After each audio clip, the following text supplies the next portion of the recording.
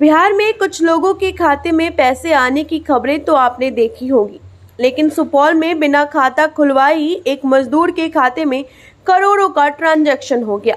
अभी भी मजदूर के खाते में 9 करोड़ निन्यानवे लाख रुपए मौजूद है, जिसे साइबर सेल मुंबई ने फ्रीज कर दिया है।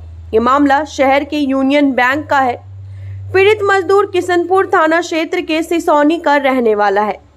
जिसने आज से पहले ना तो यूनियन बैंक में अकाउंट होने की जानकारी थी और ना ही ये पता था कि उसके नाम का इतना बड़ा फर्जीवाड़ा हो गया है। आखिर कैसे हुआ ये पूरा मामला हम आपको बताते हैं विस्तार से। दरअसल सुपौल के सिसौनी इलाके का रहने वाला विपिन चौहान पेशे से मजदूर है। वो रोज कमाने और खाने वाला व्यक्ति है। अगले दिन रोजी रोटी की तलाश में फिर से मजदूरी करने के लिए निकल जाता है। लेकिन विपिन के नाम पर यूनियन बैंक में 9 करोड़ निन्यानवे लाख रुपए रखा हुआ है।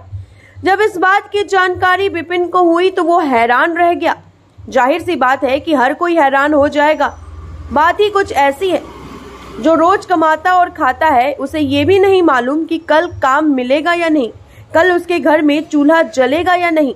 ऐसे व्यक्ति के बैंक अकाउंट में अगर इतनी राशि आ जाए तो हर किसी को आश्चर्य होगा। विपिन के बैंक अकाउंट में 9 करोड़ निन्यानवे लाख अचानक आ गए, जिसकी जानकारी खुद विपिन को नहीं थी। लेकिन जब इस बात का पता चला तो वो भी हैरान रह गया।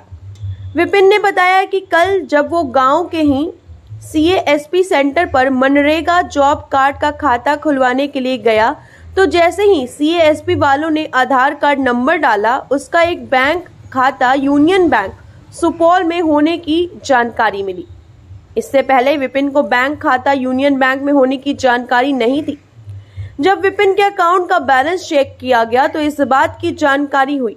ये सुन विपिन के होश उड़ गए। उसके सेविंग अकाउंट में 9 करोड़ निन्यानवे लाख रुपए रखे हुए थे। विपिन ने बताया कि आज तक उसका किसी भी बैंक में खाता नहीं था। आधार कार्ड डालने पर पता चला कि यूनियन बैंक में खाता है। बैंक में जब उसके खाते की कुंडली निकाली तो बैंक के पास मौजूद कागजात में ना तो विपिन का फ़ोटो था और ना ही उसके अंगूठे का निशान या हस्ताक्षर। बैंक अधिकारियों ने जब ओपनिंग फॉर्म की खोजबीन की, तब बैंक के पास वो उपलब्धि नहीं था। यूबीआई में उसका खाता 13 अक्टूबर 2016 को खोला गया था, जिसमें 11 फरवरी 2017 तक करोड़ों रुपए का ट्रांजैक्शन हुआ। बहरहाल, अब सवाल उठना लाजमी है कि सुपौल में साइबर क्राइम से जुड़े लोगों की जड़ें कितनी मज़बूत हैं। अगर एक मजदूर के साथ ऐसा हुआ है तो ऐसे और कितने लोग हैं जिनके आधार कार्ड के नाम पर फर्जी खाते बैंक में खोले गए और उन खातों में करोड़ों का ट्रांजैक्शन हो रहा है? ये मामला सामने आने पर बैंक पर भी सवाल खड़े हो रहे हैं। ऐसे में जाँच का विषय है, ये गंभीर मामला है। इस मामले की जाँच ज़रूर होनी चाहिए। लेबर कार्ड बनाने के लिए तो वहाँ पता चल रहा है कि जो तुम्हारे खाता में बैलेंस है यूनियन बैंक में खाता खुला हुआ है। उसमें बहुत सारे पैसा जमा है। उसमें नहीं खुलेगा लेबर कार्ड। कितना रुपया जमा है? निन्यानवे करोड़ नौ लाख ऐसे कुछ रुपया है। तो तुम फिर क्या किया? हम उसके बाद आए यूनियन बैंक मिलने के लिए। उनसे मिल के गए तो बोला कि जो कल आओ। कल आके उसके बाद फिर हम इसे हम टेस्ट मांगे मतलब हमको दो जितना डॉक्यूमेंट्स दिया है वो हमको दिखलाइए। अकाउंट हम मांगे उनसे तो वो नहीं दिया। बोला कल आओ सीनियर अफसर आएँगे तो इसका मामला हल करेंगे। तुम्हारा आधार कार्ड कैसे उन लोगों को मिला किसी आधार कार्ड हमको एक ही जगह पोस्ट ऑफ़िस से हमको फटा हुआ दिया था पोस्ट ऑफ़िस वाला। उस रोज हम उसको बोल दिए तो बोला कि जो कोई बात नहीं घिस तिर में फट फट गया होगा। इसलिए कोई बात नहीं रखो। सिग्नेचर तो तुम्हारा भी तुम्हारा ही है। हम तो नहीं किए सिग्नेचर वो कैसे है सिग्नेचर मेरे को कोई मालूम नहीं। क्या नाम है तुम्हारा? मेरा नाम विपिन विपिन चौहान। बात तो नौ करोड़ या दस करोड़ जो भी बात कर रहे हैं वो बिल्कुल से उसमें कोई भी सत्य नहीं है। हमने अभी खाता चेक किया और आप लोग को भी दिखाया है उसमें कोई भी ऐसा बैलेंस कभी आया ही नहीं है।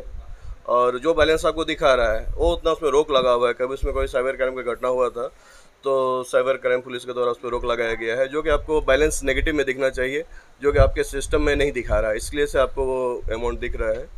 उसमें ऐसा कोई सत्यता नहीं है इस मामले में। किन लोगों के द्वारा खाता खोला गया? जिसका खाता है वो कह रहा है नहीं खोला है। ये इस जाँच का विषय है। इस पर जाँच किया जाएगा। हम अपने उच्च अधिकारी को इसका रिपोर्ट करेंगे। वो देखेंगे क्या हुआ है इसमें। है? ये सब जाँच का विषय भी हम आपको नहीं बता सकते। ये देखना पड़ेगा। खाते को और जो कि वो साइबर क्राइम का रोक लगाया गया है, हम उसमें ज़्यादा जाँच कर भी नहीं सकते। हैं ये हमें अपने उच्च अधिकारी को बताना पड़ेगा, वो बताएँगे, इसमें जाँच करेंगे। ये साइब साइबर क्राइम क्राइम का मामला है। चूँकि इनका खाता 2016 में जैसा कि सिस्टम बता रहा है कि 2016 अक्टूबर में इन्होंने खाता खोला था और फरवरी 2017 में ये खाता को साइबर के थ्रू ही बंद कर दिया गया है। इन तीन महीने के बीच बहुत ज़्यादा ट्रांजेक्शन हुए हैं तो मैं अभी शाखा प्रबंधक को निर्देश देता हूँ कि वो सारी चीज़ों का विवेचना करें और ये खाता किसने खोला कैसे खुला के वगैरह उनका हुआ है नहीं हुआ है इन सारी बातों का मैं संज्ञान लेता हूँ और मैं सारा रिपोर्ट जो है इनसे मैं तलब करता हूँ?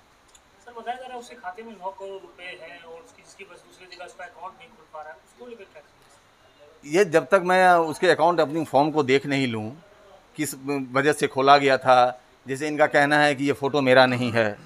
इन सारी चीज़ों को तब पहले तहकीकात करनी पड़ेगी उसके बाद ही हम आपको कुछ बता पाएँगे। अ, मैं संतोष कुमार खां मैं मुख्य प्रबंधक हूँ रांची अंचल कार्यालय में। पेट में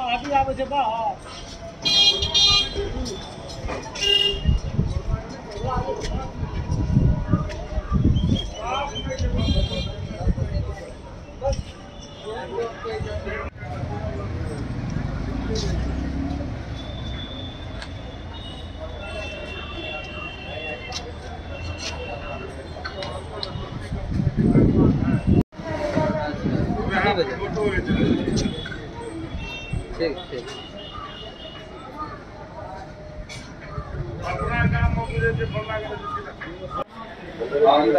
पाँच सौ तीन एक सौ तिरानवे देखिए जी पाँच सौ तीन एक सौ तिरानवे देखो मत